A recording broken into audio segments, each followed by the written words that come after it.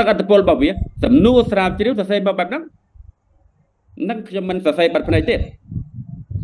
ព្រោះយើងចង់មើលអត្តពលវាអញ្ចឹងយើងសួរថាតើ1 2 3 4មានអត្តពលដូចម្ដេចទៅលើលទ្ធផលគណិតវិទ្យាហើយកុំឲ្យខ្ញុំចេះតែថាគ្នាយើងទៅយកអត្តបទស្រាវជ្រាវដែលគេបោះពុំលលយកមកមើលខ្ញុំរៀនពីហ្នឹងអញ្ចឹងហើយបានខ្ញុំថាឲ្យខ្ញុំទៅអានសិភៅវិធីសាស្ត្រស្រាវជ្រាវខ្ញុំអាន10ឆ្នាំទៀតខ្ញុំទៅសេមិនត្រូវផង សិភៅវិទ្យាសាស្ត្រយើងមានបង្រៀនយើងពីវិធីអញ្ចឹងឯណាហើយបើគ្រូគ្រូទៅសូត្រចេញពីអាហ្នឹងដូចបញ្ញាសត្វតេកមកនាំយើងរៀនបានពីកាលអាអូខេលទ្ធផល ការផ្ដល់ស្វ័យអាជីវនិតបើអតិពលអញ្ចឹងលទ្ធផលយើងសន្មត់ទៅតាមនឹងសិនណាការផ្ដល់ស្វ័យភាពក្នុងការរៀនការផ្ដល់ព័ត៌មានត្រឡប់ភាពច្បាស់លាស់ក្នុងការបង្រៀននិងការរៀនបែបសហការមានអតិពលបែបវិជ្ជមានទៅលើសមត្ថភាពគណិតវិទ្យាអូខេ ខ្ញុំភ្លេចដាក់សញ្ញាខណ្ឌទេណាអាបើយើងព្យាករទៅឃើញអញ្ចឹងអានេះអានេះខ្ញុំឧទាហរណ៍ថាព្យាករទៅទាំង4ទាំង4អថេហ្នឹងមានអតិពលទៅលើលទ្ធលទ្ធផលគណិតវិទ្យាណាតែបើមានតែ3យើងយកតែ3មកសេតែ3មកមានអតិពលមួយទៀតបាច់ទេហេគ្រូបើមានតែ2មានតែ2ក៏សេតែ2ដែរពីព្រោះយើងកំពុងតែរត់ឆ្នាំណាដែលព្យាបាលគណិតវិទ្យាបានបើអាពីរទៀតអត់មានអតិពលមានន័យថាវាព្យាបាលមិនបានវាអត់ព្យាករមានន័យថាវាអត់អតិពល ចឹងយើងយកតែពីរដែលមានអតិពលដែលអាចព្យាករបានទៅយកទៅព្យាបាលបានហើយយើងសរសេរនៅក្នុងលទ្ធផល ដល់ពេលយើងផ្ដល់អន្តរសាស្ត្រគឺឲ្យគ្រូគ្រូបង្កើននៅអាណាដែលវាមានអតិពលលើទៅធ្វើតាមចឹងគណិតវានឹងប្រសើរឡើងហើយដូចនេះចឹងអេគ្រូផ្ដល់ស្វ័យភាពណាគ្រូផ្ដល់ព័ត៌មានត្រឡប់ណា គ្រូត្រូវបញ្យល់ឲ្យច្បាស់ណាការបញ្យល់ឲ្យច្បាស់ខ្ញុំបានឲ្យគ្នាយើងមើលហើយ indicator របស់ clear instruction មានអីខ្លះអីខ្លះបញ្យល់មេរៀនច្បាស់បញ្យល់ពីវិធីធ្វើកិច្ចការស្រាវជ្រាវធ្វើលំហាត់កិច្ចការផ្ទះឲ្យបានច្បាស់ច្បាស់បញ្យល់ខ្លឹមសារមេរៀនច្បាស់ច្បាស់បញ្យល់ពីគោលបំណងនៃមុខវិជ្ជាហ្នឹងឲ្យបានច្បាស់ច្បាស់បើមានទ្រឹស្ដីមានគោលគំនិតពាក់ព័ន្ធត្រូវបញ្យល់ឲ្យច្បាស់ច្បាស់អានេះបានហៅថាការបរៀនច្បាស់លាស់អញ្ចឹងទេពេលដល់អសាសក៏បែបហ្នឹងឃើញទេ ចឹងខ្ញុំបានរំលេចឲ្យគ្នាយើងហើយណាទាំងគោលបំណងស្រាវជ្រាវហើយនឹងសំណួរស្រាវជ្រាវអាតមើលមួយទៀត case study គ្រូមិនដាក់ខ្វែងដាក់ខ្វែងមិនដឹងគាត់ប្រកាសជាចោលលុយហ្នឹង case study យើងដឹងហើយ case study អីគេសម្ភារទេធ្វើម៉េចសិស្សខ្សោយគណិតវិទ្យាយើងសម្ភារធ្វើម៉េច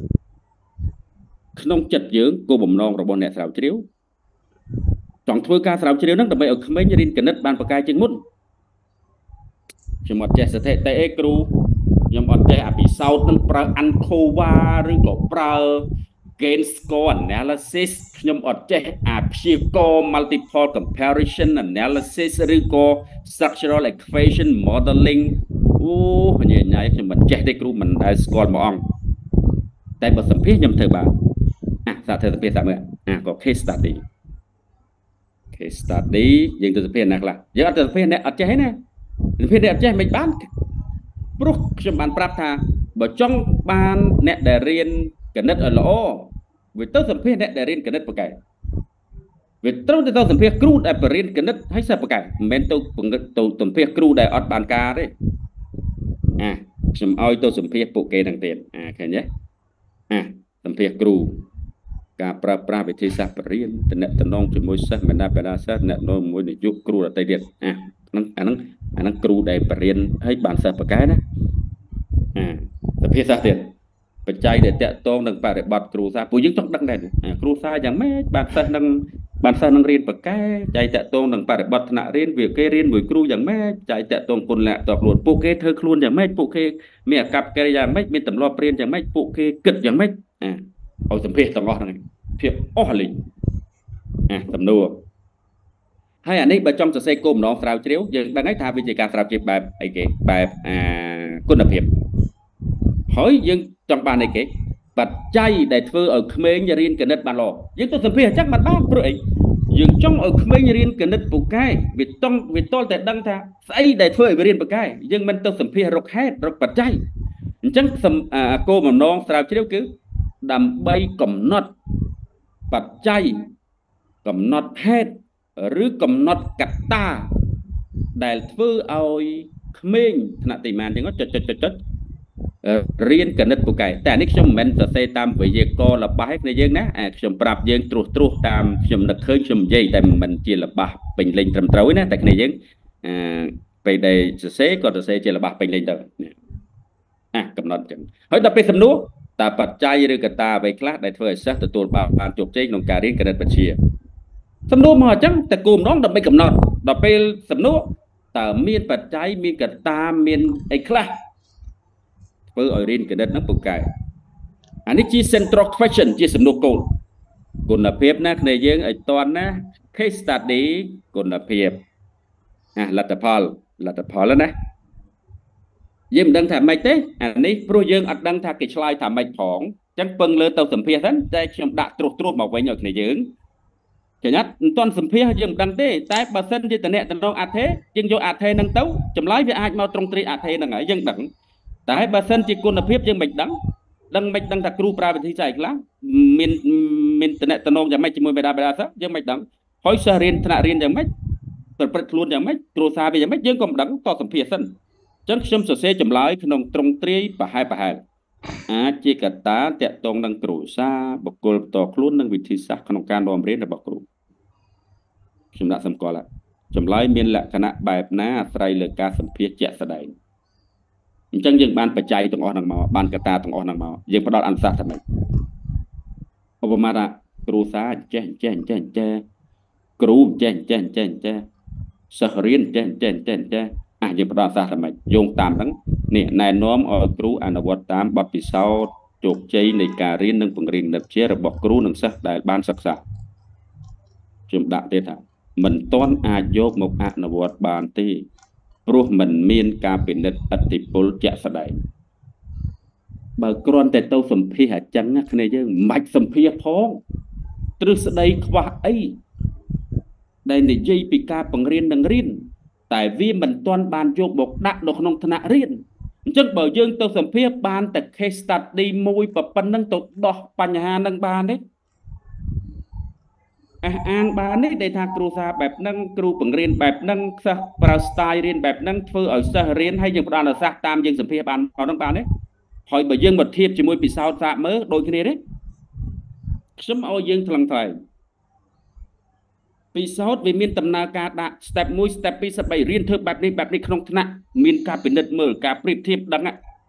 ហើយចោះបើយើងគ្រាន់តែមកសម្ភាសបានប៉ុណ្ណឹងដែលវាមានលក្ខណៈមិនខុសអីអំពីសភៅគោលការណ៍សរសេរពីវិធីសាស្ត្របង្រៀនផងថាពុកម្ដាយគួរធ្វើខ្លួនយ៉ាងម៉េចនៅផ្ទះសិស្សគួររៀនដោយវិធីណាគ្រូគួរយកវិធីរៀនយើងទៅមើលយើងទៅមើលសភៅ pedagogy នៃការបង្រៀនគណិតវិទ្យាមើលហើយទៅមើលតកតងជាមួយនឹង educational psychology ចិត្តវិទ្យាអប់រំក្នុងការបង្រៀននិងរៀនទូទៅមើលវាមានអញ្ចឹងដូចតែគ្នាហ្នឹងហើយចឹងបាច់សភាបើអញ្ចឹងតដែលគ្រាន់តែធ្វើ literature review ពីសិភៅពីទ្រឹស្ដីហើយផ្ដល់អនុសាសន៍ហ្មងចាំបាច់ធ្វើ research ឃើញអត់វាមិនមានលក្ខណៈយកទៅប្រើការបានទេចឹងឯងបាទខ្ញុំប្រាប់ថា មិនមែនយើងរកបញ្ហាបានហើយយើងចេះតែដោះដោយតម្រងស្រាវជ្រាវណាមួយក៏បានហើយគ្នាយើងមើលមកទីនេះកុំឲ្យខ្ញុំថាអេគ្រូឯងថា research បែបគុណភាពអន់មែនខ្ញុំមិនមែនថាវាអន់ទេតែទៅសម្ភាសបានចម្លើយហើយទៅសម្ភាសបានចម្លើយមានបញ្ហាសេគោលម្ដងស្រាវជ្រាវសេសំណួរស្រាវជ្រាវទៅសម្ភាសបានចម្លើយតែយកចម្លើយមកធ្វើអីចម្លើយនេះយកមកធ្វើអី ចិត្តយើងធ្វើ research ចង់ឲ្យក្មេងរៀនគណិតវិទ្យាបានប្រសើរតែចម្លើយនេះជួយបានអត់ឃើញទេ researcher ត្រូវឆ្លាត researcher មិនត្រូវត្រាប់តាមទេណាមិនត្រូវត្រាប់តាមអញ្ចឹងឯងបានខ្ញុំប្រាប់ថាគ្នាយើងទៅអានសៀវភៅអានមិនបានទេអានមិនបានទេហើយកុំតន់ជឿខ្ញុំពិចារណាសិននៅអ្វីដែលខ្ញុំអធិប្បាយឲ្យគ្នាយើងស្ដាប់ឃើញទេ ហើយបើគ្នាយើងទៅស្ដាប់គេផ្សេងគេថាក៏រឿងរបស់គេ តែនេះជាអ្វីដែលខ្ញុំអធិប្បាយឲ្យគ្នាយើងស្ដាប់ហើយពិចារណាអូខេអញ្ចឹងខ្ញុំខ្វែងមិនមានន័យថា research ហ្នឹងខុសទេណាគ្នាយើងណានេះស្រាប់បន្តណាគ្រូឯងខ្វែង research ហ្នឹងធ្វើខុសមែនមិនមែន research ហ្នឹងខុសទេណាតែ research ហ្នឹងដោះបញ្ហាហ្នឹងអត់បានហើយបើដោះបញ្ហាមិនបានហ្នឹងយើងធ្វើទៅអី អនុសាសន៍គ្រាន់ផ្ដល់តានេះឃើញទេតាមរយៈបទពិសោធន៍នៃការរៀនគណិតដែលល្អគឺបែបនេះបែបនេះបទពិសោធន៍នៃការបង្រៀនគណិតដែលល្អគឺបែបនេះបែបនេះហើយគ្រូសាដែលមានកូនរៀនពូកែគណិតគឺមានលក្ខណៈបែបនេះអើហើយអាម៉េចគណិតមិនមែន research នេះធ្វើខុសទេគ្នាយើងឲ្យតណាដែលខ្ញុំខ្វែងនេះគឺវាទៅមិនដល់អ្វីដែលយើងចង់ដោះ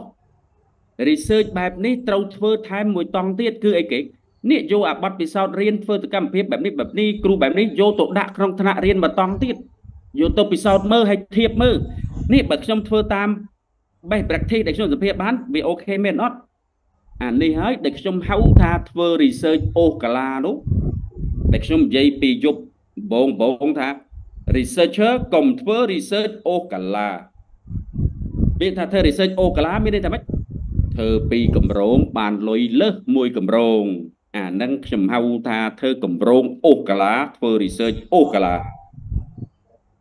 លុយគ្រប់កាក់គ្រប់ផ្សេងដែលរត់ដាក់កម្រងឲ្យធ្វើ ជាលុយកម្ចី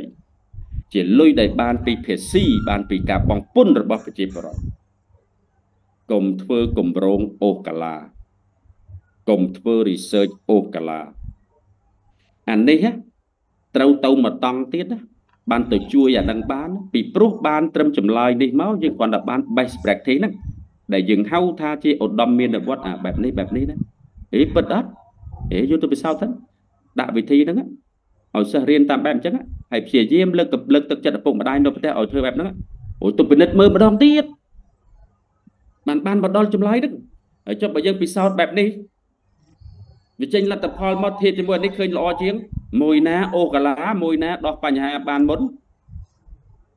researcher ត្រូវឆ្លាតហើយស្មោះត្រង់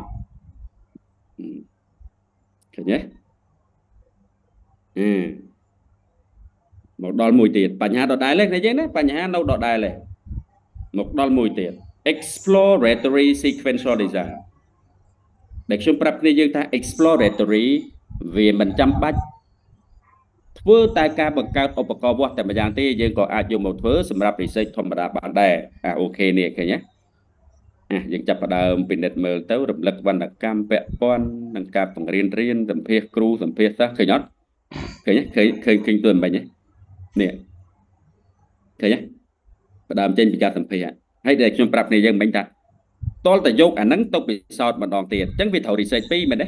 តែបើយើងគិតថាអេគ្រូ វាមានអាចចម្រោះដែរតាគ្រូវាមានអាចចម្រោះដែរថាម៉េចយើងផ្ដើមដោយអានឹងទៅសម្ភារទៅហើយចាំយើងយកទៅអនុវត្តដោយបរិមាណទៅ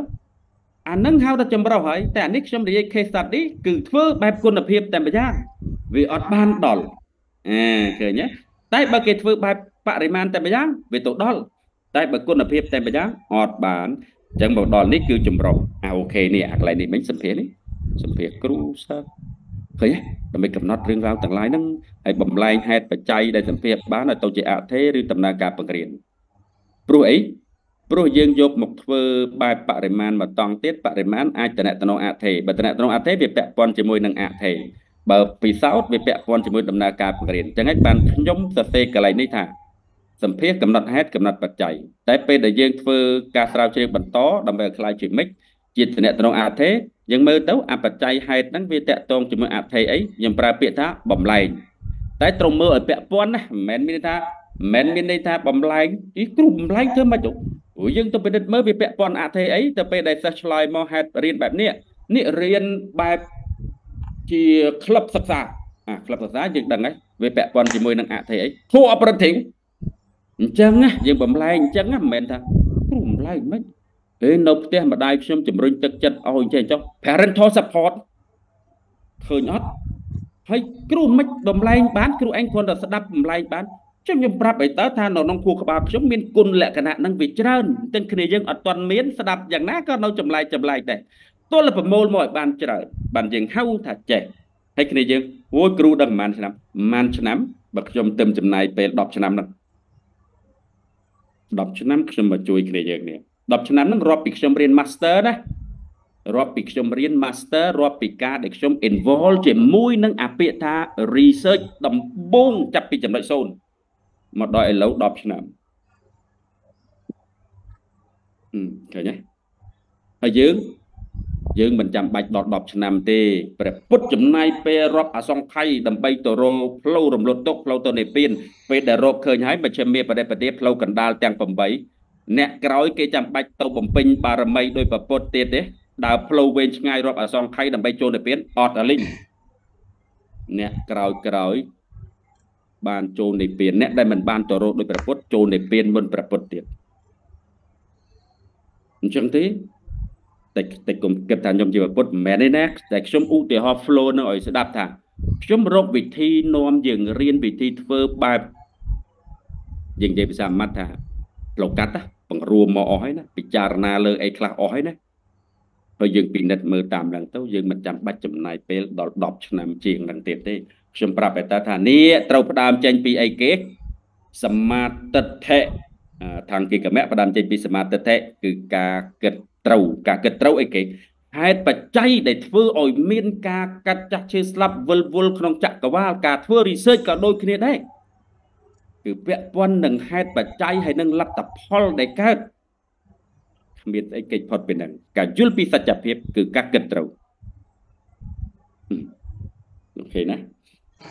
តាមពិតខ្ញុំក៏បានគុណបុណ្យពីការចេះដឹងរឿងពុទ្ធសាសនារឿងអីទាំងឡាយនឹងដែរ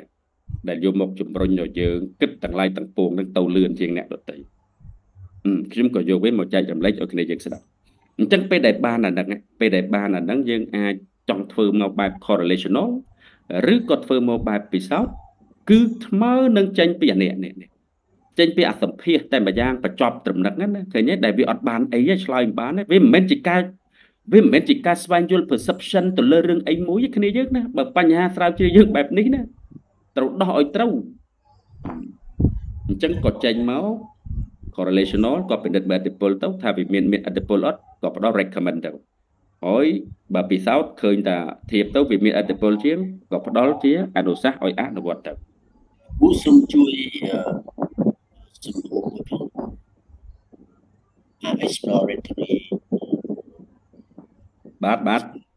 សូមជាសំណួរមួយសំណួរថាម៉េចវិញថាម៉េចវិញតងនឹង exploratory sequential design ទៅខ្ញុំ ចង់ដឹងថាគូដាក់សំណួរមួយទៅអូសំណួរដូច style មុនសំណួរសំណួរគឺពាក់ព័ន្ធជាមួយនឹងអ្វីដែលយើងបានស្វែងយល់ពីខាងដើមពីព្រោះ explore ពីព្រោះមិនគឺប្រើតម្រងទាំងពីរអញ្ចឹងបើខ្ញុំអត់សរសេរឲ្យហ្នឹងណាអានេះមានគោលបំណងស្រាវជ្រាវពីរហើយព្រោះវាជាមិនមិនមានគោលបំណងស្រាវជ្រាវពីរផ្សេងគ្នាហើយគោ លបំណងស្រាវជ្រាវទី1គឺបោះគុណភាពគោលបំណងស្រាវជ្រាវមួយទៀតបោះបរិមាណអាចបោះតំណែងតំណងអធិឬក៏អាចបោះពិសោធន៍អានេះបើចង់សរសេរគោលបំណងប្រៀបបីដូចជាយើងសរសេរកន្លែងនេះមិនបាញ់មិនអញ្ចឹងដើម្បីកំណត់ឃើញទេដើម្បីកំណត់ហេតុឬបច្ច័យអាអូខេចឹងហើយបើខ្ញុំអត់សរសេរឲ្យទៀតពីព្រោះវាមានសន្តានបរិមាណដូចគ្នាអាដើម្បីកំណត់យើងមិនទៅរំលឹកវណ្ណកម្មយើងមិនទៅសម្ភាសដើម្បីផ្សេងៗមកបូកបញ្ចូលគ្នាអាអូខេចង់សេជាសំណួរ តើបច្ច័យអីខ្លះនេះតើបច្ច័យខ្លះយើងទៅសម្ភារគេយត់តើបច្ច័យអីខ្លះដែលដែលដែលដែលមានអតិពលលើការរៀនគណិតវិទ្យាអាយើងមិនទៅសម្ភារឃើញទេហើយដល់ពេលមកត្រង់នេះមកត្រង់នេះយើងចង់ធ្វើបែបណាមួយបរិមាណបើចង់ធ្វើបែបបរិមាណនេះអាអធិដែលកំណត់បានមានអធិអីខ្លះឃើញទេអធិដែលកំណត់បានមានអធិអីខ្លះអញ្ចឹងយើងដាក់មកនេះពិនិត្យមើលអតិពលអធិទាំងអស់ណាដែលយើងដែលយើងបានពីការសម្ភារណាយកមកមក ហើយបើសិនជាយើងបំលែងវាទៅជាវិធីសាស្ត្ររៀនដើម្បីពិនិត្យមើលអតិពលនៃការរៀនបែបនេះនោះនេះនោះទៅលើអីចឹងមកដូចតែយើងសរសេរនៅក្នុងការស្រាវជ្រាវមិញមិញកន្លងមកឃើញទេអញ្ចឹងខ្ញុំអត់ផ្សេងឲ្យទៀតទេដោយសារវាមានលក្ខណៈដូចគ្នាតែមួយណាបាទអរគុណលោកគ្រូចង់ចង់បញ្ជាក់បន្តិចលោកបាទម្សិលមិញតកតងជាមួយនឹង exploratory នេះខ្ញុំបានបញ្ជាក់មួយលោកគ្រូម្សិលមិញថា កាលណាយើងធ្វើបែបជាលក្ខណៈ mix explanatory ត្រូវធ្វើគុណគុណភាពមុនបរិមាណវិស័យក្រោយហើយខ្ញុំក៏សួរជំពូបញ្ជាក់ថាតើនៅក្នុងនោះយើងមានបានកំណត់ប្រភេទនៃដោយគុណភាពយើងចង់ធ្វើជា case study ឬក៏ចង់ធ្វើជាអឺបែប narrative research ឬក៏បែបជាលក្ខណៈអឺ ethnography research ដើមចឹងលោកបាទហើយលោកបានមានប្រសាសន៍តាមសិលនេះយើងអាចកំណត់ចឹងឯងមាន flow វាគឺបែបគុណភាពគុណភាពបរិមាណវិស័យក្រោយចឹងទៅដល់ ពេលលោកលើកឧទាហរណ៍នេះវាមានបែងចែកជាប្រភេទដូច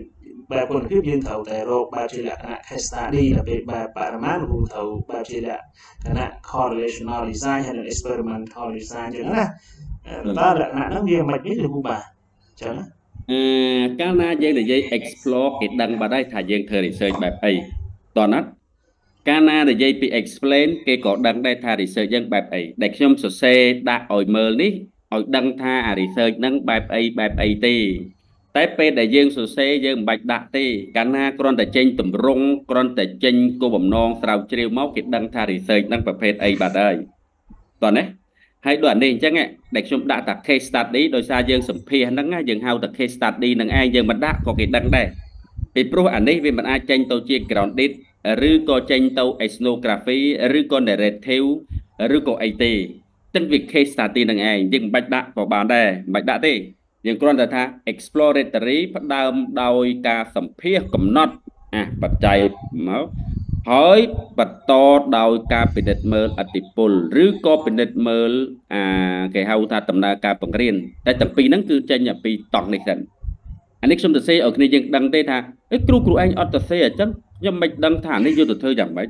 ខ្ញុំមិនដឹងថានេះយកទៅយ៉ាងម៉េចគ្នាយើងត្រូវដឹងថា តើយើងធ្វើ research ឲ្យអ្នកណាអានយើងធ្វើ research ឲ្យអ្នកចេះ research អានណា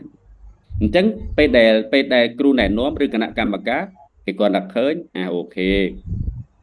ឬក៏យើងផ្ញើទៅបោះពុំទៅរងពុំគេគាត់តែឃើញអាអូខេហើយចុះបើយើងគណៈកម្មការអត់ចេះ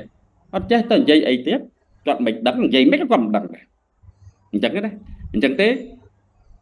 ពេលខ្លះពេលដែលយើងឃើញដំណើរការឈ្មោះបែបនេះ វាផ្ដើមដោយគុណភាពដឹងសម្ភារហើយសម្ភារអីខ្លះធម្មជាតិរបស់វាគឺសម្ភារកំណត់បច្ច័យកំណត់នេះនោះដើម្បីយកអាហ្នឹងមកសាងបន្តពិនិត្យមើលប្រសិទ្ធភាពវាពិនិត្យមើលអតិពលរបស់វាថាតើអាចប្រកាសបានឬអត់នេះឃើញទេអញ្ចឹងទេគឺអានេះខ្ញុំដាក់ឲ្យគ្នាយើងមើលថាអូខេបើបែបនេះ correlational ឯណាបើបែបនេះ experimental ឯណាតែមិនបាច់ដាក់ក៏គេដឹងដែរដោយសម្ភារអញ្ចឹងអញ្ចឹងហើយបាននៅក្នុងចំណងជើង research បែបបរិមាណគេមិនដាក់ប្រភេទមកជាមួយទេ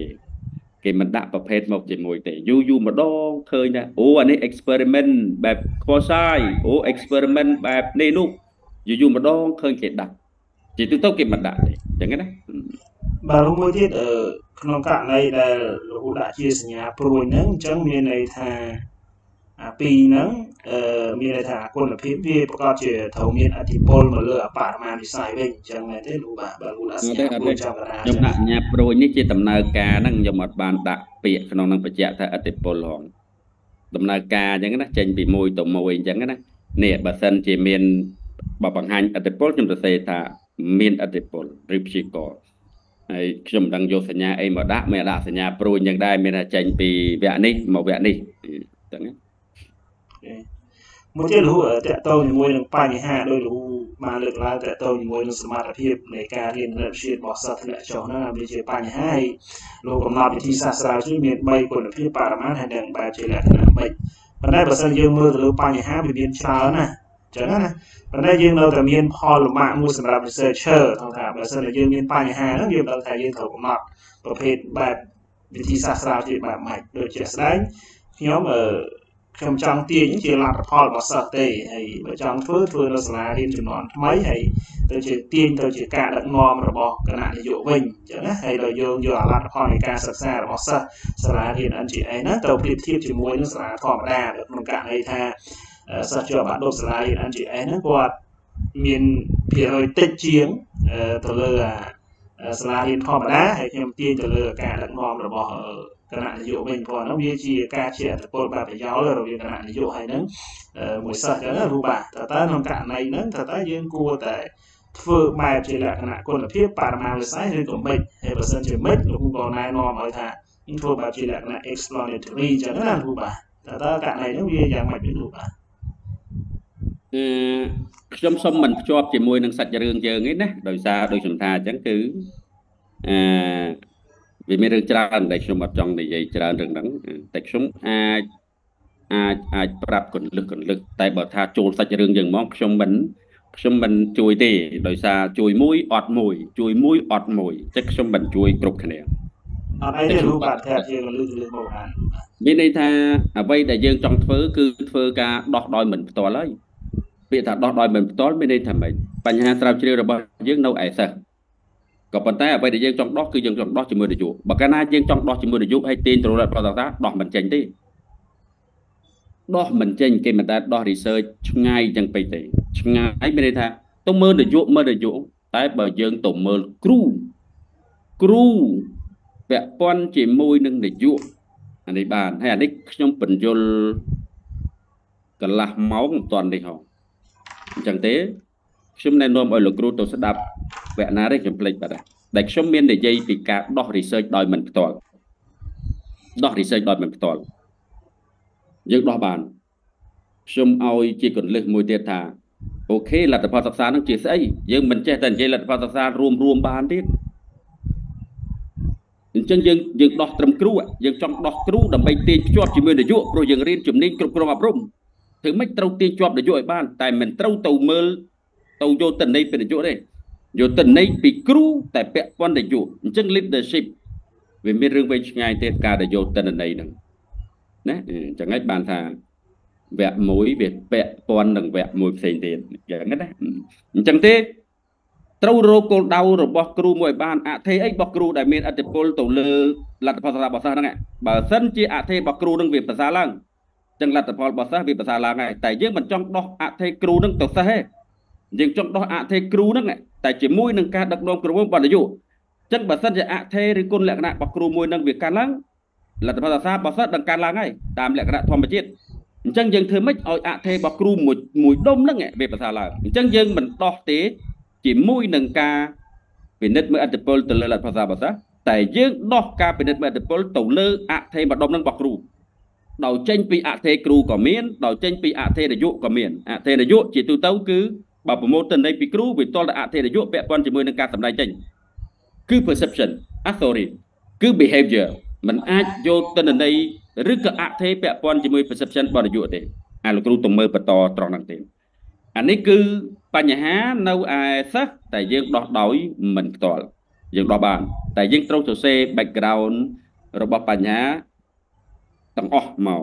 មិនដោះបានអញ្ចឹងការដោះគឺដោះយោងទៅតាមទូអធិរបស់គ្រូ អធិរបស់គ្រូដែលយកមកម្ដុំហ្នឹងខ្ញុំឧទាហរណ៍ថានៅពេលដែលគ្រូមានភាពជឿជាក់លើការរៀននោះគ្រូឬក៏នៅពេលដែលគ្រូប្រើប្រាស់វិធីសាស្ត្របង្រៀនបែប constructivism តើនឹងរៀនបានអញ្ចឹងតើធ្វើម៉េចឲ្យគ្រូប្រើ constructivism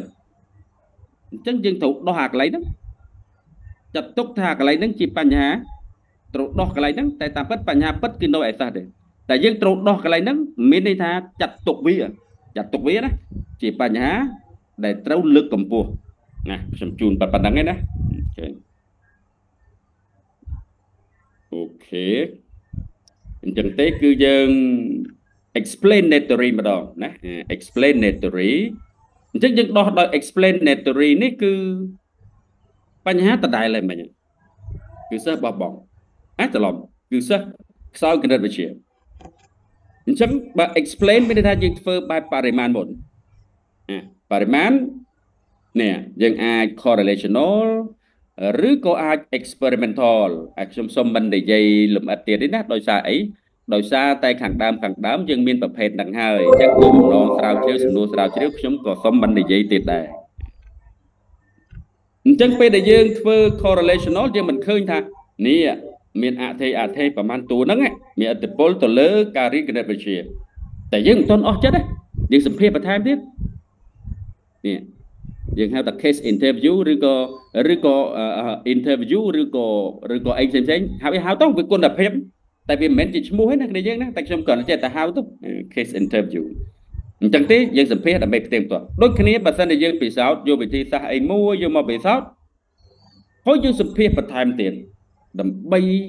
ទៀងទាត់មើលថាលទ្ធផលដែលទទួលបានពិតជាកើតចេញអំពីដំណើរការនៃការបង្រៀននៅក្នុងការពិសោធន៍នឹងមែនបែបនេះក៏យើងអាចធ្វើបាន តែមិនចាំបាច់និយាយតើណាខ្ញុំបានប្រាប់គ្នាយើងឯងថា explanatory sequential design ចម្រុះបែប explanatory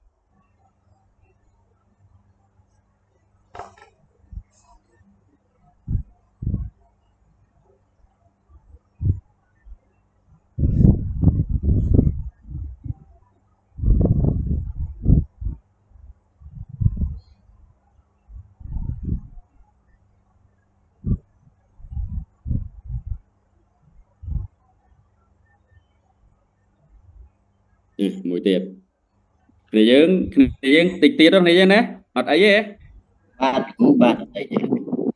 អត់អីទេមានអ្នកខ្លះលក់អស់ហើយណាអាអូខេយើងឲ្យចប់ចោះដើម្បីបានមេរៀននៅក្នុងคลิปវីដេអូណាគ្នាយើងបើងុយបើងុយក៏ចេញមុនចោះអត់អីទេអានៅសល់ពីរ2នាក់ក៏ខ្ញុំព្យាយាមបញ្យលថតឲ្យជាคลิปដើម្បីឲ្យចប់ដាក់ឲ្យគ្នាយើងមើលណា គ្រូវគ្គសំខាន់ពងស្ដាប់លោកគ្រូដល់កាយចិត្តទុកដាក់លោកគ្រូ អឺអូខេអូខេ អញ្ចឹងនេះទី2នេះគ្រូបង្រៀនភាសាអង់គ្លេសខ្វះភាពជឿជាក់ក្នុងការបង្រៀនរបស់ខ្លួននេះនេះយើងជឿដែរជឿដែរថាគ្រូអង់គ្លេសទៅចេញទៅចេញណាគ្រូថ្មីថ្មីចេញទៅអឺជឿលោកគ្រូជឿចេញមួយឆ្នាំពីរឆ្នាំក៏ដោយកុំថាឡើយទៅចេញថ្មីមួយឆ្នាំពីរឆ្នាំក៏ដោយគ្រូអង់គ្លេសហ្នឹងកុំថាតែគ្រូអង់គ្លេសនោះគ្រូភាសាខ្មែរក៏ដោយហើយរឹតជាងគេគឺគ្រូពលរដ្ឋវិទ្យា ចុះគ្រូពលរដ្ឋវិទ្យាលេងសិល្បៈទស្សនវិជ្ជានោះហ្នឹងគ្រាន់តែមើលពាក្យហ្នឹងក៏បែកភ្នែកដែរហើយអត់មានប្រទាននុក្រមឲ្យមើលទៅពីខាងក្រោយទៀតដេកចឹងបានថាខ្វះភាពជឿជាក់អាអូខេយើងយ៉ាងម៉េចយើងត្រូវដោះវាគោលបំណងរបស់អ្នកស្រាវជ្រាវចង់ធ្វើយ៉ាងម៉េចចង់ឲ្យគ្រូអង់គ្លេសមានភាពជឿជាក់ឡើងវិញ ចុះគោលបំណងស្រាវជ្រាវមិនទាន់ដឹងបើយើងមិនទាន់ដឹងថាយើងសម្រេចចិត្តធ្វើ research ណាមួយផងអញ្ចឹងដើម្បីឲ្យដឹងថាធ្វើ research ណាមួយវាតបពិនិត្យបើសិនខ្ញុំប្រាប់គ្នាយើងថាមើលមើលថាតើអាអាអាអាអាភាពជឿជាក់ហ្នឹងវាស់បានអត់ខ្ញុំដូចជាមានអាជារូបមកផ្ទាំងមែនទេដែលជារូបខ្នែងខ្នែងចុះមកក្រោមណាដែលសួរថាចេញពីបញ្ហាស្រាប់យើងថា វាបញ្ហាស្រាវជ្រាវនឹងវាស់បានឬអត់វិញបើបញ្ហាស្រាវជ្រាវនឹងវាស់បានគួរធ្វើបរិមាណច្រើនជាងតែបើបញ្ហាស្រាវជ្រាវនឹងវាស់មិនបានទេកុំធ្វើបរិមាណពិបាកតែបើចង់ធ្វើបរិមាណបានទេបាន តែត្រូវធ្វើដោយមិនផ្ទាល់ងាប់គលកលៈច្រើនមិនគ្រូចុះ research យើងរៀនឲ្យអស់វាទៅយើងនឹងដឹងហើយតែទាំងអស់នេះដូចខ្ញុំថាអញ្ចឹងណាគ្នាយើងទៅអានពីសិភៅណាដែលបរទេសសរសេរឲ្យឃើញអាហ្នឹងយកមកឲ្យខ្ញុំមើល ដូចខ្ញុំបញ្យល់មិនអញ្ចឹងដោះផ្ទាល់ដោះមិនផ្ទាល់បញ្ហាស្រាវជ្រាវវាស់បានវាស់បានគួរធ្វើបែបនេះគួរធ្វើបែបនេះតែយកមកទៅអានណាប្រូនអីក៏បានដែរបរទេសទេអ្នកខ្លាំងខ្លាំងទេហ្នឹងអញ្ចឹងតិចគឺភាពជឿជាក់បើយើងគិតថាវាស់បានទេវាស់បានតាវាស់បានដោយកម្រិតជឿជាក់តិចតួចជឿជាក់ខ្លាំងជឿជាក់ខ្លាំងណាស់ជឿជាក់មុំមុំនេះ គុណលក្ខណៈដែលមានកម្រិតយើងអាចវាស់បានតែមិនវាស់បានដោយលេខ1លេខ2លេខ3 1គីឡូ2គីឡូ3គីឡូ4គីឡូ1លីត្រ2លីត្រ5លីត្រ1សង់ទីម៉ែត្រ2សង់ទីម៉ែត្រ1ម៉ែត្រ2ម៉ែត្រ3ម៉ែត្រដោយឯកតាឯងយើងវាស់បានដោយកម្រិតដោយយើងប្រើ scale 1 2 3 4 5អាអាបញ្ចប់ត្រឹមហ្នឹងឥឡូវយើងមកមើលថាយើងធ្វើ research ដើម្បីបង្កើនភាពជឿជាក់ហើយដើម្បីឲ្យស្អីមួយវាកើនឬក៏វាថយវាតលតែទៅរកហេតុទៅរកបច្ច័យរបស់វាគ្នាយើងពីព្រោះអី ពីព្រោះនៅលើโลกនេះវាជាប់ពាក់ព័ន្ធតែរឿងពីរហ្នឹងហេតុផលហេតុផលកាត់មិនចេញទេ research ក៏ដូចគ្នាដែរដើម្បីពង្រឹងភាពជឿជាក់ឬដើម្បីកាត់បន្ថយការការអីគេការបាក់ទឹកចិត្តឃើញទេបាក់ទឹកចិត្តឲ្យវាថយ ភាពជឿជាក់ឲ្យវាកើតឡើងអាដើម្បីបង្កើនភាពជឿជាក់វាតលតែទៅរកហេតុរកបច្ច័យអីឲ្យវាកើតសុកសុកមនុស្សមានភាពជឿជាក់លើខ្លួនឯងដែរដូចគ្នាយើងអញ្ចឹងមុនមករៀនជាមួយខ្ញុំគ្រាន់តែរៀននេះនោះនេះនោះពុំមិនធ្វើការបានដល់ពេលយើងមកស្ដាប់ខ្ញុំបានមួយវគ្គពីរវគ្គទៅដឹងថាងប់អញធ្វើអត់កើតទេឃើញទេមុនបងគ្រាន់បើមកស្ដាប់យូរយូរធ្វើកើតមិនមែនទេយើងដឹងផ្លូវដឹងអីមានន័យថាយើងត្រូវរៀនបន្ថែមទៀតទៅធ្វើកើតតែភាពជឿជាក់មានជាងមុនណាព្រោះយើងដឹងថា អូខេបើបែបនេះមកយ៉ាងនេះបើបែបនេះមកយ៉ាងនេះហើយបើបែបនេះត្រូវសេគោម្ដងបែបនេះត្រូវសេសំណួរបែបនេះយ៉ាងណាក៏យើងដឹងយើងកាន់ភាពជឿជាក់អញ្ចឹងមិនមែនសុកសុកយើងកាន់ភាពជឿជាក់ទេវាមានហេតុហេតុគឺមករៀន cost 1 2 3 4អញ្ចឹងទេបរិមាណសាមើបែបគុណភាពសាមើអេចាំបែបចម្រុះមិនដែរហើយអានេះខ្ញុំយក credit series ខ្ញុំយក credit series ចុះបើ case study ឥឡូវយើងសាកលបងគិតមើល case study មុននឹងខ្ញុំបញ្យល់ល្មមបើគុណភាពអាខ្ញុំបញ្យល់មិនតែខ្ញុំមិនដាក់ case study ខ្ញុំដាក់ credit series ឲ្យឲ្យចំពោះរបស់វា case study យើងមិនសម្ភាសយើងសម្ភាសអីគេខ្ញុំសួរយើងសម្ភាសអីគេភាពពីនេះពីនោះដោយការយល់ឃើញភាពពីនេះពីនោះពាក់ព័ន្ធជាមួយនឹងផ្នែកគំនិតដូចមែនផងហ្នឹង ព្រោះយើងត្រូវកំណត់ហេតុវាមិនមែនទៅសិក្សា perception ឯណាវាមិនមែនទៅចង់ដឹងពី perspective ឯណាអានេះយើងចង់បង្កើនយើងចង់លើកកម្ពស់ភាពជឿជាក់ហើយយើងទៅ case study ថាម៉េចទៅនេះឃើញអត់តែខ្ញុំថាម៉េចមិនមែនចេះតែចង់ធ្វើ research ណាមួយណាមួយក៏បានស្រេច researcher ទេណាតែយើងក៏មិនបាច់វិលទៅថាឲ្យគេវិញដែរណាយើងគ្រាន់តែស្ដាប់ស្ដាប់ទៅហើយយើងដឹងថាអេមិនមែនចឹងផងហើយយើងស្វែងយល់ខ្លួនយើងបន្ថែមទៀតអញ្ចឹងដើម្បីលើកកម្ពស់ វាតលតែធ្វើ research មួយហេខ្ញុំចង់ធ្វើគុណភាពធ្វើបានគុណភាពហេតុអី grounded theory ព្រោះហេតុអី program did theory យើងទៅសម្ភាសមិនមែនសម្ភាសធម្មតាទេគឺសិសម្ភាសកំណត់ហេតុកំណត់បច្ច័យដែលមានអតិពលឬជំរុញឲ្យគាត់ជឿជាក់មានន័យថាម៉េចទៅសម្ភាសគ្រូគ្រូដែលមានភាពជឿជាក់ក្នុងការបង្រៀនមិនមែនទៅសម្ភាសគ្រូគ្រូដែលអត់ភាពជឿជាក់ទេហើយពេលដែលសម្ភាសបានមានហេតុមានបច្ច័យគូសរូបចេញមកជាទ្រឹស្ដីបឋមឬក្របខណ្ឌគំនិត ត្រួសត្រួសបាទអានេះសឹងតែមិនបញ្យល់ដល់ហ្នឹងក៏គ្នាយើងអាចមើលរូបភាពឃើញដែរហើយនឹងមួយទៀត explanatory ដែលធ្វើក៏បានមិនធ្វើក៏បាននេះឃើញទេអាយើងទៅមើលតែម្ដងណាយើងទៅមើលតែម្ដងនេះពិសោធន៍អូខេបើពិសោធន៍អានេះខ្ញុំដាក់អេមកក្រុមឲ្យពីរក្រុមនេះនេះយើងអាមកក្រុមឯង ខ្ញុំធ្លាប់បញ្យល់គ្នាយើងពិសោធន៍មកក្រុមធ្វើមិនបានទេប្រយ័ត្នព្រោះវាពាក់ព័ន្ធនឹងលទ្ធផលសិក្សាក្នុងមុខវិជ្ជាដែលយើងហៅថា content knowledge ពិសោធន៍មកក្រុមគេមិនពិសោធន៍ទេព្រោះអីអូយគេដឹងថាក្រោយការរៀនបន្ទុវាបានប្រមាណក៏នៅតែខ្ពស់ជាងមុនការរៀនអញ្ចឹងមុនការពិសោធន៍អញ្ចឹងហើយដល់ទៅពេលអញ្ចឹងណា វិធីណាក៏យើងណែនាំអនុសាសន៍ដែរព្រោះអីដាក់ស្អីក៏នៅតែល្អជាងដែរពោលតែអញ្ចឹងវិធីណាក៏នៅល្អជាងឲ្យពិសោធន៍ធ្វើស្អីបើគេដឹងហើយហ្នឹងតែប្រសិនបើក្រៅពីលទ្ធផលសិក្សាក្រៅពីក្រៅពីអីក្រៅពីគេហៅថាចំណេះដឹងក្នុងមុខវិជ្ជា យើងធ្វើបានក៏ប៉ុន្តែជាមួយគ្រូបើយើងពិសោធន៍រៀនពិបាកបន្តិចតែលើកលែងទេលើកលែងតា យើងស្ម័គ្រស្មោះខ្លួនឯងអាយើងយើងយើងយើងចង់ចូលរួមខ្លួនឯងអានេះខ្ញុំឧទាហរណ៍ថាគ្រូគ្រូដែលគាត់អត់មានភាពជឿជាក់លើសមត្ថភាពអង់គ្លេសហើយជារួមយើងដឹងជារួមគ្រូអង់គ្លេសប្រកាសជាមិនសូវមានភាពជឿជាក់អញ្ចឹងទេអាយើងក៏ design វគ្គប្រដាល់មួយខ្ញុំអត់ហៅថាជាវិធីប្រេនទេណាខ្ញុំហៅថាវគ្គប្រដាល់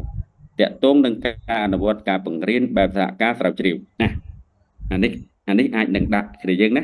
គ្នាយើងតាមដានអាចនឹងដាក់នៅខែ8អីហ្នឹងខែ8ឬខែ9អីហ្នឹងអាចដាក់តបដាល់អាហ្នឹង free ឯវគ្គហ្នឹង free ឯណាអាចចូលស្ដាប់បានអញ្ចឹងទេយើងដាក់វគ្គប្រដាល់ហ្នឹងអាមុននឹងចាប់ដើមប្រដាល់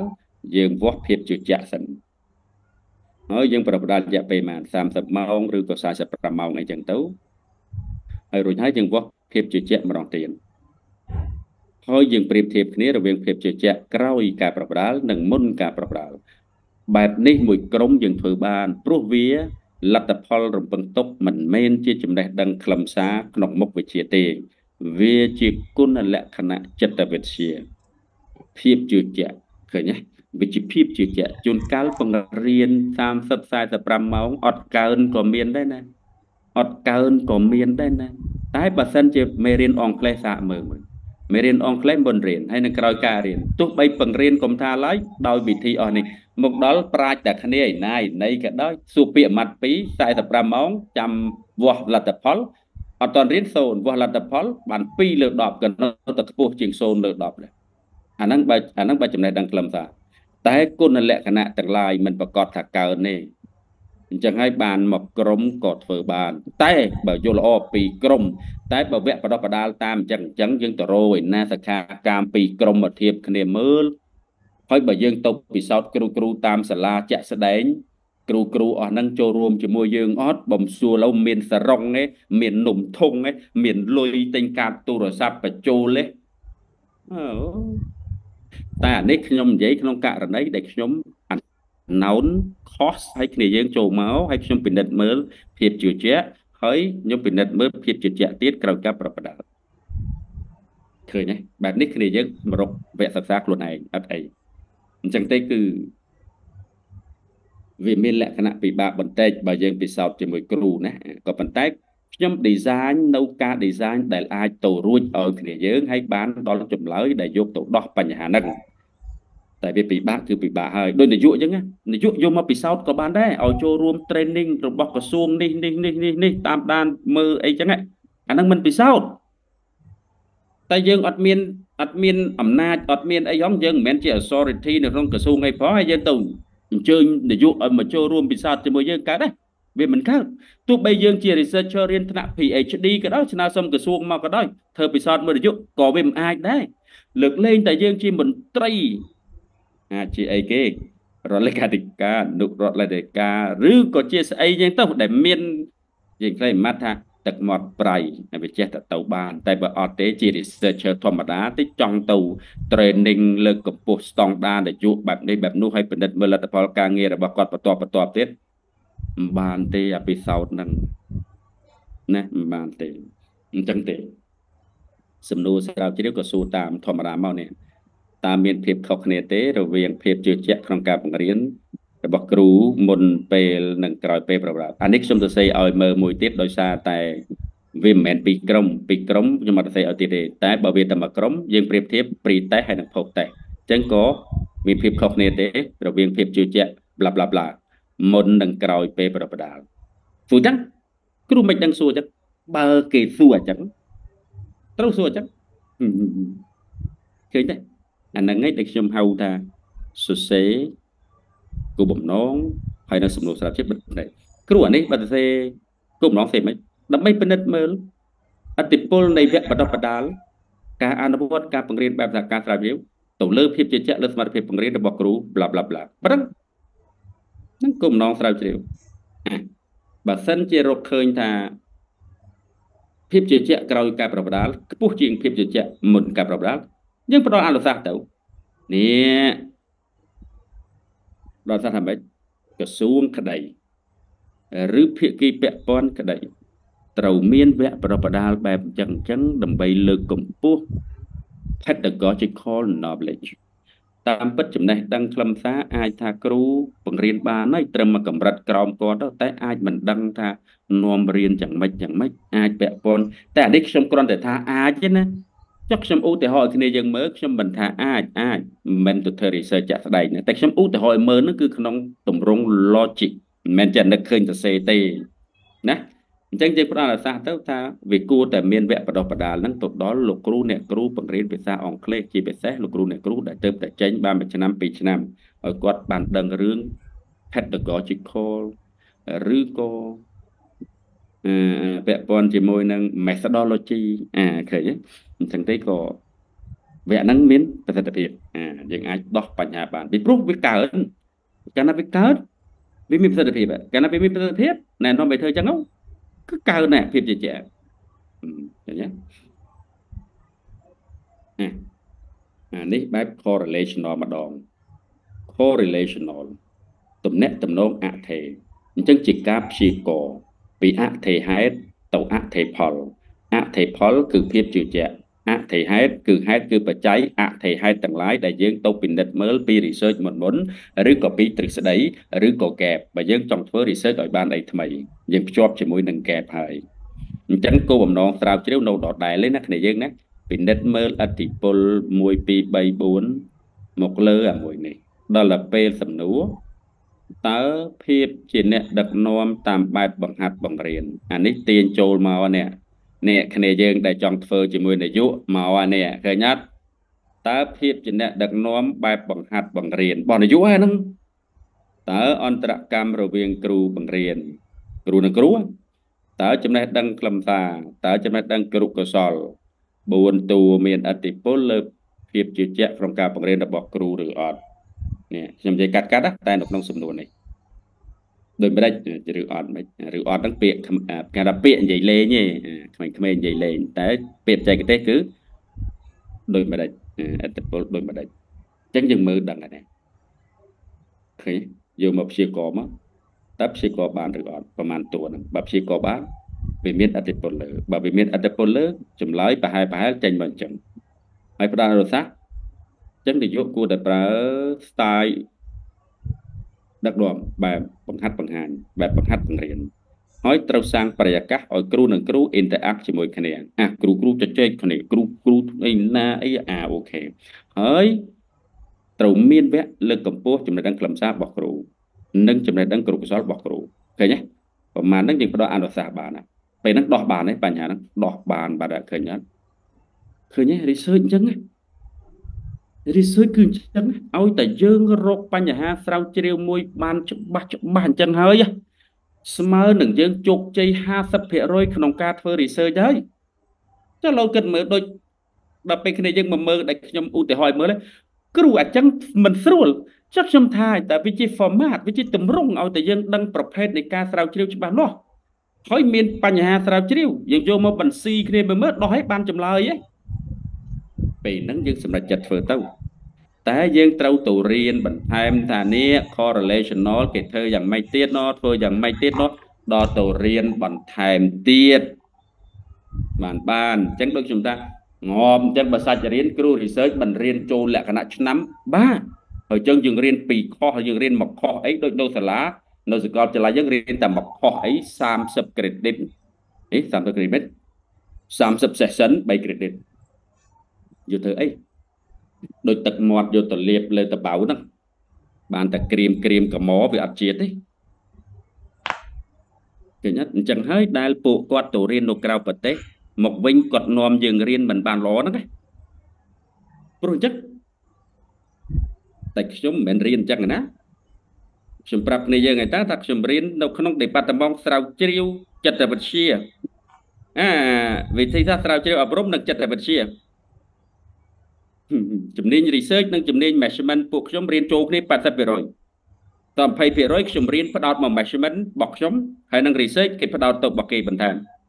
តែពួករៀន research ដោយត្រង់អត់ច្បាស់ជាមួយ measurement ទេខ្ញុំដឹងតែអ្នករៀនជំនាញនោះអត់ច្បាស់ជាមួយ measurement ទេអ្នករៀន measurement ច្បាស់ research តែអ្នករៀន research ដោយត្រង់មិនច្បាស់ measurement ទេដល់ពេលយើងទាំងពីរនោះចឹងមិនមែនរៀនតិចទេណា វាមានវគ្គច្រើនច្រើនច្រើនដែលត្រូវរៀនទៀតស្ថិតិមិនដឹងខ្ញុំរៀនប្រហែលវគ្គទេនៅជូឡាក្តីនៅ King ខុតក្តីយើងត្រូវរៀនរឿងច្រើនហើយខ្ញុំរៀនចប់ហើយខ្ញុំនៅតែរៀនបន្តទៀតរាល់ថ្ងៃខ្ញុំនៅតែអានសៀវភៅបន្តរឿងអីឃើញទេផ្សេងគ្នាដោយវិធីគិតនៅពេលណាដែលយើងគិតលំលំទៅបង្រៀនក៏បានលទ្ធផលលំលំ នៅពេលណាដែលយើងគិតឲ្យវាប្រកបប្រជាលទ្ធផលដែលទទួលបានក៏ប្រកបប្រជាគ្មានអ្នកណាឥតខ្ចោះទេតែត្រូវព្យាយាមធ្វើទៅឲ្យដល់ល្អិតខ្ចោះដកមួយពេលដែលយើងតាំងចិត្តអញ្ចឹងគឺយើងទៅបានដែរតែបើសិនជាយើងថាអូយ no one is perfect ព្រោះគ្មានអ្នកណាល្អខ្ចោះអាហ្នឹងពួកប្តីព្រោះអាមួផ្សំក្រិចឯងបានប្រើពេលដែលធ្វើទៅនៃហត់បន្តិចពេលដែលធ្វើទៅជួបឧបសគ្គបន្តិចពេលដែលនេះអូចឹងក៏បានដែរចឹងក៏បានដែរ no one is perfect គ្មានណាល្អគ្រប់10ទេខ្ញុំមិនដែលប្រើពាក្យហ្នឹងទេ ខ្ញុំប្រើពាក្យ perfect ដកមួយយើងដឹងថាគ្មានណាគ្រប់10ទេព្រោះគ្រប់10ក៏ឈួតដែរឃើញអត់អញ្ចឹងទេគឺនេះជាទម្រង់ទំនាក់ទំនងអថេដែលយើងយកមកលើកកម្ពស់ភាពជឿជាក់ក្នុងការបង្រៀនរបស់គ្រូដែលក្នុងនោះគ្នាយើងដែលរៀនគ្រប់គ្រងអប់រំក៏ត្រូវប៉ាន់ដែរនេះវាពាក់ព័ន្ធជាមួយនឹងភាពចំណេះដឹកនាំមួយតែគ្នាយើងថាគ្រូបើបញ្ហាស្រាវជ្រាវខ្ញុំវាមិនមែនហ្នឹងហ៎ខ្ញុំដោះបែបហ្នឹងបានទេបានអញ្ចឹងយើងទាញទៅថាបញ្ហាស្រាវជ្រាវយើងអីគេការរៀនរបស់សិស្សផ្នែកណាមួយហើយយើងគ្រាន់តែទៅរក research មួយឲ្យឃើញថានៅពេលដែលគ្រូមានភាពជឿជាក់ក្នុងការបង្រៀននោះលទ្ធផលសិក្សារបស់សិស្សប្រភេទ1 2 3នេះវានឹងកើនឡើងចប់យើងរត់តំណភ្ជាប់មួយជា rational តបភ្ជាប់ជា spin មួយភ្ជាប់តែយើងអត់ធ្វើផ្ទាល់លើលទ្ធផលសិក្សាដែលជាបញ្ហាទេយើងធ្វើត្រឹមនេះ research ខ្ញុំមិនធ្វើហ្នឹងដែលខ្ញុំយកទៅបោះពុំបានហ្នឹងតែបែបនេះនិស្សិត master ដែលជាសកកម្មយើងក៏ទៅធ្វើ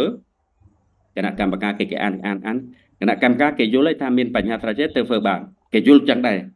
ដល់តែពេលគេថាម៉េចគឺបញ្ហាស្រាវជ្រាវជាសតដល់ពេលមកដកមកពេលដល់ពេលមក design ការស្រាវជ្រាវមកអានេះអានេះមិនកើត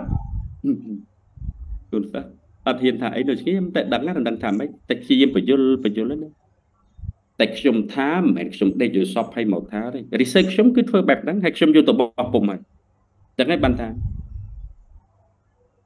ធ្វើយកទៅបោះពុំឲ្យបាន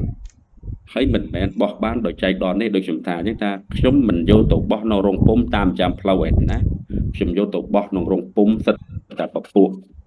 top top នោះហ្នឹងអញ្ចឹងទេគឺដើម្បីសាងទំនុកចិត្តថាយើងធ្វើត្រូវបើយើងយកទៅបោះតាមចាំផ្លូវអូតិចតិចក៏បោះបានតិចតិចក៏បោះបានអាបោះឯងខុសក៏យកទៅបោះបានលុយខ្លាំងខ្លាយវាមិនចេះមើល យកលុយខ្លាំងខ្លាយឯងយកទៅវិនិយោគបន្តទៀតលុយខ្លាំងខ្លាយយកទៅធនាគារវាសិតតែលុយខ្លាំងខ្លាយដេកហើយយើងត្រូវបានគេទទួលយកទៅយើងយល់ថាអឺបោះអញក៏ត្រូវដែរមកផ្សព្វផ្សាយបន្តដេកដល់ទៅពេលផ្សព្វផ្សាយផ្សព្វផ្សាយទៅប៉ះអាកូនសិស្សដែលគេរៀនត្រឹមត្រូវដែរគ្រូមិនអញ្ចឹងទេណាគ្រូទៅមើលត្រង់នេះត្រង់នេះត្រង់នេះឡើងវិញហើយយើងមិនចប់អញ្ចឹងទេគឺនេះជាវិធីដែលយើងអាចបន្ស៊ីរវាង ការ design ទម្រង់ឬក៏ប្រភេទនៃការស្រាវជ្រាវទៅនឹងបញ្ហាស្រាវជ្រាវខ្ញុំអត់មានពេលទេណាតែយើងណាដូចថាយើងថាយើងរៀន10ម៉ោងហើយខ្ញុំមិនមានពេលច្រើនអញ្ចឹងឯងបានខ្ញុំមាននិយាយនៅវគ្គផ្សេងៗថាអូដោះមិនផ្ទាល់ក៏បានដែរដោះមិនផ្ទាល់ដោយ row rational មួយយកមកតាក់វាឲ្យបានបែបនេះបែបនេះបែបនេះសរសេរបែបនេះបែបនេះគឺអូខេហ្នឹងណាអាមួយទៀតយើងកុំឲ្យយកជ្រៅអ៊ូ10កន្លះនេះយើងណាមើលនេះយើងនៅសល់ប្រហែលអ្នកនេះលក់ឲ្យហ្នឹង អីនៅសល់ច្រើនតាបាទបាទលោកគ្រូនៅបាទគ្រូនៅតាមដានលោកគ្រូបាទនៅ23នៅគ្រូអត់តទៅណាទេ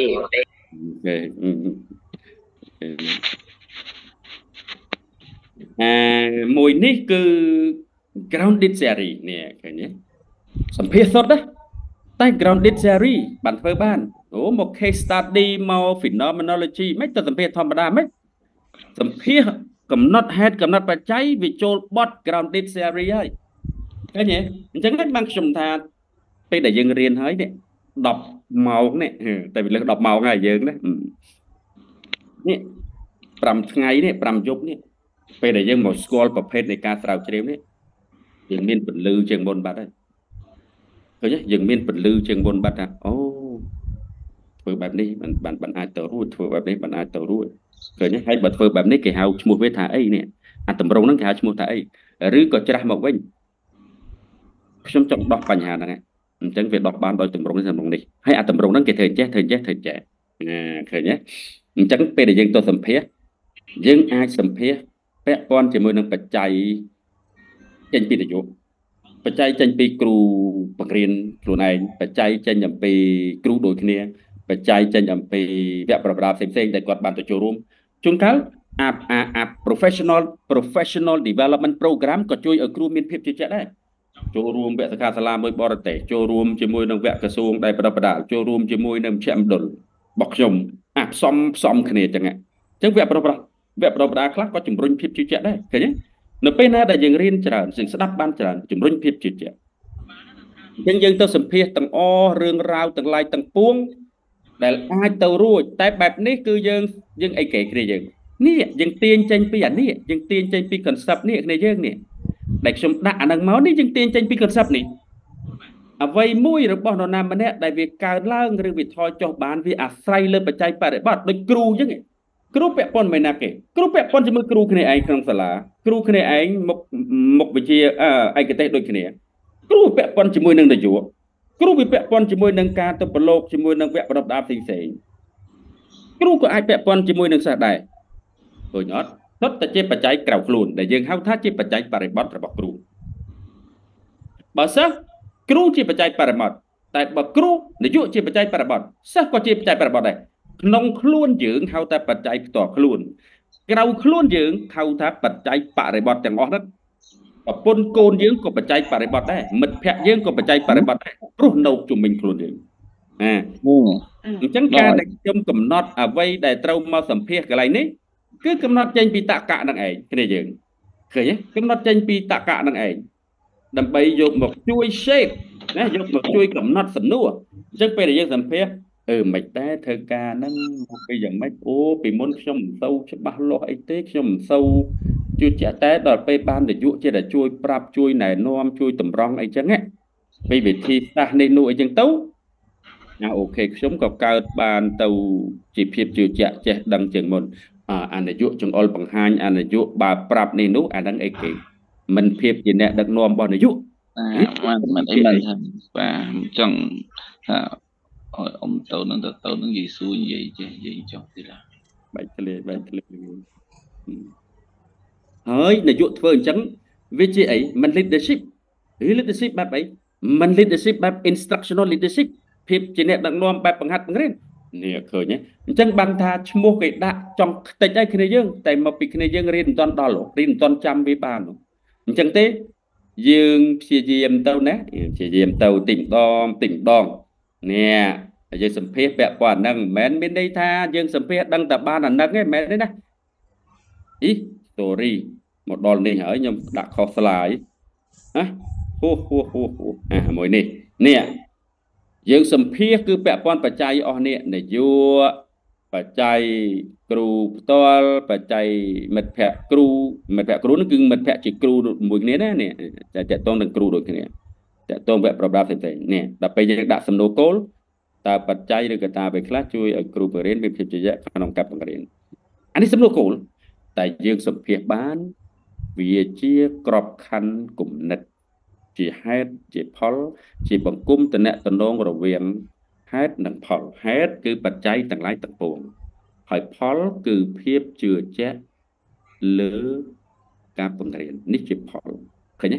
នេះអញ្ចឹងយើងវិភាគរៀបចំតំណែងរវាងបច្ច័យដែលមាននឹងមក ហើយបង្កើតក្របខ័ណ្ឌគំនិតទ្រឹស្ដីបឋមឆ្លុះបញ្ចាំងពីតំណែងរវាងហេតុបច្ច័យដែលយើងសម្ភាសបានក្នុងនេះអីខ្លះដំណើរដើមតងវាហើយជាមួយនឹងផលផលគឺភាពជឿជាក់ក្នុងការបង្រៀនគូសរូបចេញមួយមកឃើញទេចាំមើលណារូបវាអាចមានសន្តានដូចបែបនេះខ្ញុំឲ្យគ្នាយើងមើលមួយពាក់ព័ន្ធជាមួយនឹងការបោះបង់ការសិក្សាអញ្ចឹងណាវាមានតម្រងយ៉ាងម៉េចហេតុបច្ច័យដែលរុញការបោះបង់ការសិក្សានឹងយ៉ាងម៉េចចាំមើលណា នៅក្នុងវគ្គអីនេះយើងបាទមានសួរលោកគ្រូលោកគ្រូសំណួរដែលយើងសួរហ្នឹងសួរតែមួយសំណួរហ្នឹងទេហើយយើងយកមួយសំណួរហ្នឹងទៅសម្ភាសតែម្ដងអត់ទេទេទេទេសំណួរដែលសួរនៅក្នុងសំណួរមួយដែលដែលប្រើដែលប្រើនៅក្នុងអត្ថបទស្រាវជ្រាវឬក៏សារណបទគេហៅថាសំណួរគោល central question ពេលទៅសម្ភាសយើងត្រូវប្រើសំណួរបំបែកបាទខ្ញុំចង់នៅកន្លែងសំណួរដែលយើងដាក់នៅក្នុងដំបូងចំណោមសំណួរគោលហ្នឹងយើងសួរតែមួយសំណួរហ្នឹងទេលោកគ្រូដល់ពេលយើងយកទៅសម្ភាសអាចមួយឬពីរ អាស្រ័យអាស្រ័យលើយើងចង់សិក្សាអីខ្លះអញ្ចឹងណាអាចមួយឬពីរមិនមែនតែមួយអញ្ចឹងតែខ្ញុំសេតែមួយព្រោះដោយសារយើងបំណងគឺកំណត់តែហេតុបច្ច័យបាទតែបើសិនជាយើងសួរដល់អីគេនេះអាភាពជឿជាក់របស់លោកគ្រូអ្នកគ្រូហ្នឹងវាកើតឡើងក្នុងដំណាក់កាលណាខ្លះមកពេលគាត់ចេញបរិញ្ញាបត្រវាកើនឬថយពេលគាត់បរិញ្ញាបត្រពី3ឆ្នាំវាវាយ៉ាងម៉េចហើយក្រោយមកវាមិនទទួលបានជំនួយអីទទួលបាននៅការប្រកបដាល់អីអានេះយើងសួរមួយទៀតគឺ flow